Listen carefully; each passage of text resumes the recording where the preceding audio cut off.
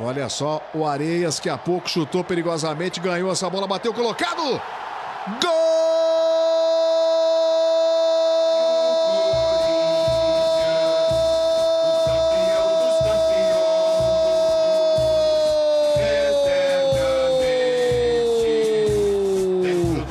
do Corinthians.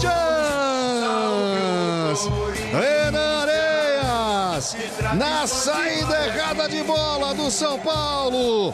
Ele aproveitou o vacilo, bateu colocado no canto esquerdo no Júnior para levantar os torcedores do Corinthians na arena e fazer o primeiro. Um para o Corinthians, zero para o São Paulo, 38 minutos.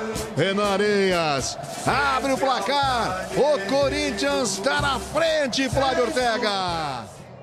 Tá aí a falta para o Corinthians. Olha o toque de cabeça.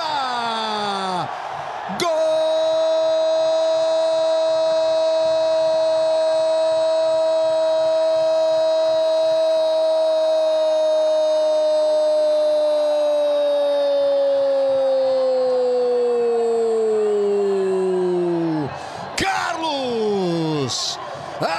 Aproveitando a cobrança de falta pela esquerda. O lateral do Corinthians mergulhou, tocou de cabeça para fazer o segundo do Corinthians, para levantar de novo o torcedor na arena.